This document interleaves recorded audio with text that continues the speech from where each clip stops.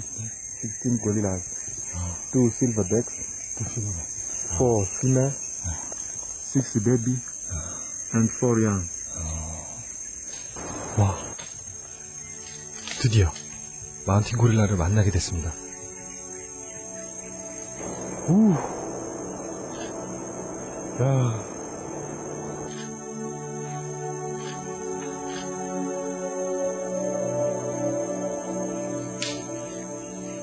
장난기 많은 이들은 마푸아라 불리는 마운틴 고릴라 가족입니다.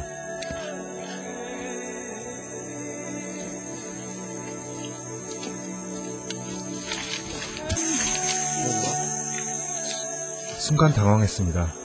저를 공격하려는 줄 알았거든요.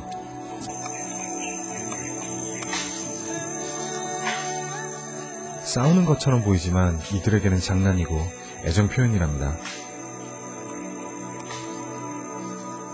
난리법석을 피우는 어린 녀석들 때문에 낮잠에서 깬 두 번째 대장 마운틴 고릴라의 표정이 꼭 어릴 적 저를 바라보시던 아버지 같습니다.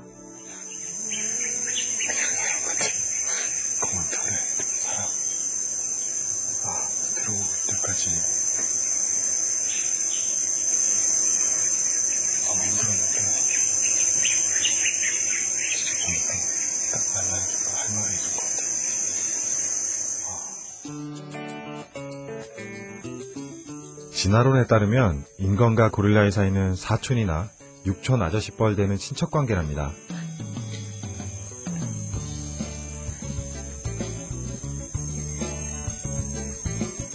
인류가 800만 년 전 고릴라로부터 떨어져 나오고 다시 600만 년 전 침팬치로부터 진화해 나온 곳이라고 합니다.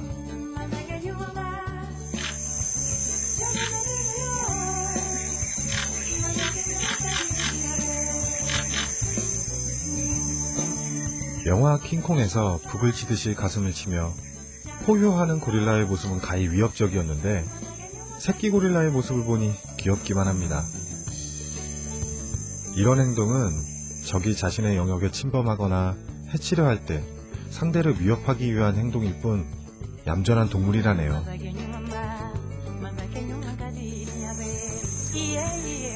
이 잎사귀 저 잎사귀를 골라서 심중하게 음미하면서 먹는 이 녀석은 이 가족의 우두머리 마푸아입니다.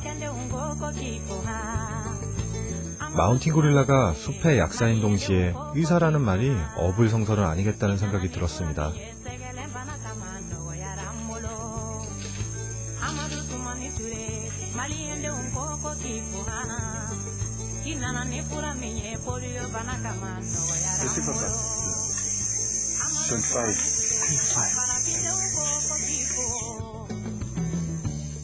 실버백이라 불리는 은색 등의 마운틴 고릴라는 수컷 우두머리로 키가 180cm에 몸무게가 200kg에 이를 정도로 육중한 몸매를 가졌습니다.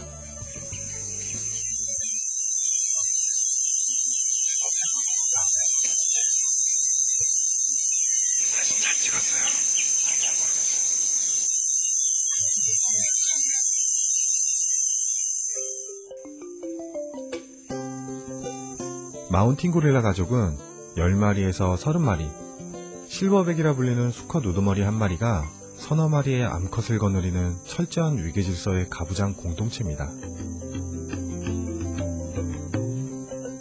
하지만 성인이 된 수컷은 이곳을 떠나 자신의 가족을 따로 꾸려야 한답니다.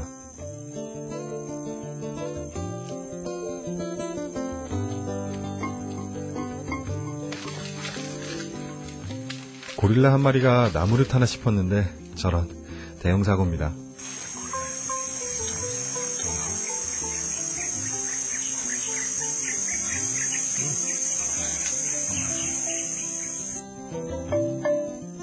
가이드의 말대로 몇 분 정도 흐르자 쑥스러운 듯 나오더니 얼굴을 보여주지 않습니다.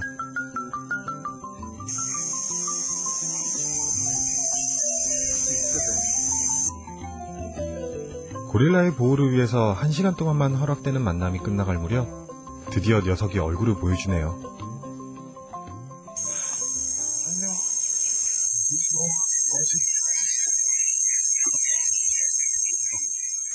정말 감격적이고 행복했던 만남이었습니다.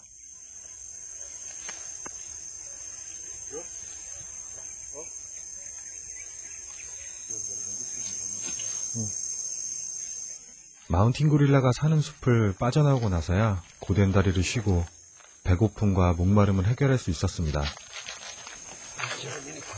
그 숲은 자연 상태로 보존되어야 하기 때문에 과자 부스러기도 떨어뜨리면 안 되기 때문입니다.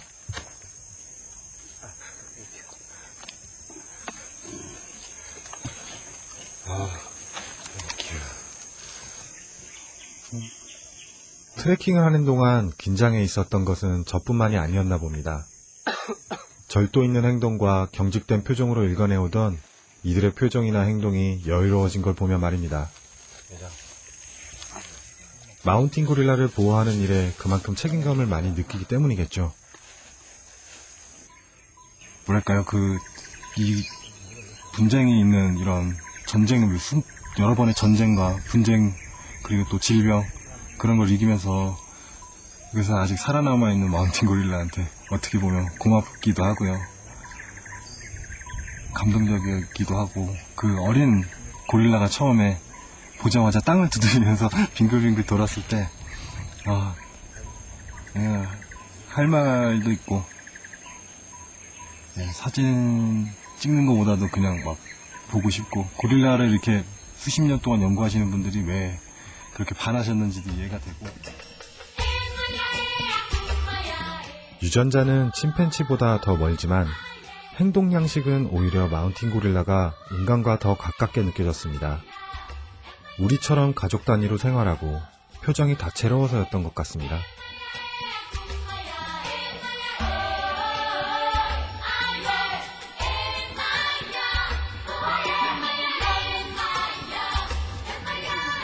숲속의 인간, 침팬치, 그리고 고릴라와의 만남은 행복했습니다. 침팬치와 고릴라가 수십 년 내로 지구상에서 사라질 것이라는 경고가 절대 사실이 되지 않기를 기도해 봅니다.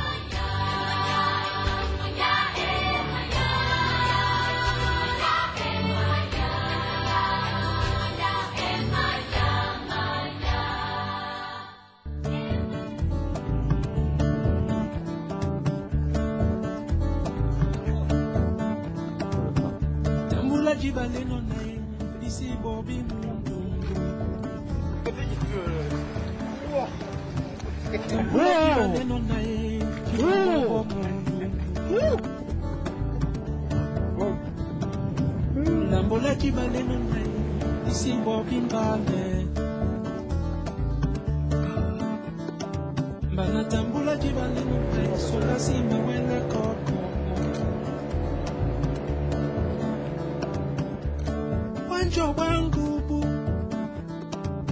nasula mwase na bebe. Tiwalala bila kukatela babane. Bana bawonja beno naye kaima tu kwa pundupo uyise uba mutete